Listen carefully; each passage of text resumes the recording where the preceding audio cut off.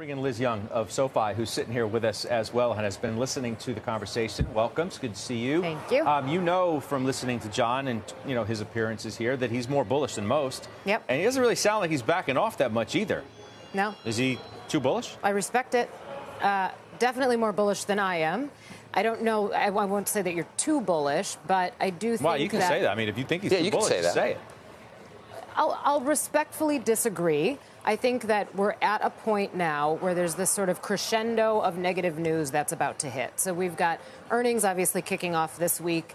This earnings season would be the one that confirms an earnings recession if things come in as expected. I'd point out, which I'm sure many other people have pointed out, that we haven't seen revisions downward since the banking crisis happened in March. I think there are revisions downward coming. So even the expectations that we have right now for a negative 6% growth quarter probably gets worse. And the second quarter is also expected to be negative. So I say that because that's sort of part two of a three part series of an economic contraction. The first part is that you have bear markets, which we all know that we had in 2022. I do think that the equity market is going to pull back again if and when we confirm an earnings recession. And then part three is that you confirm an economic contraction. And I think that is also coming. I think this commercial real estate stuff and the contraction in credit is not to be ignored, and it's just the beginning of further headlines that we're going to continue to get.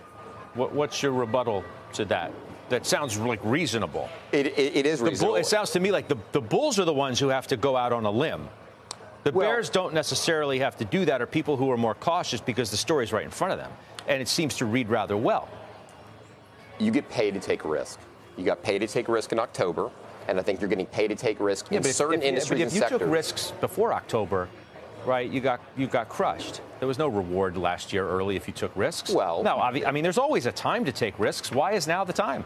Because I think that if you look at specific industries, so what I would pivot and say is if you look at certain industries, certain sectors, I do believe the valuations are retracted. Financials, you're looking at the steepest valuations, not just on a PE basis, but on a price to book and a yield basis going back to March of 20. So if we could all, you know, get in a time machine, go back to March of 20, would you want to buy stocks?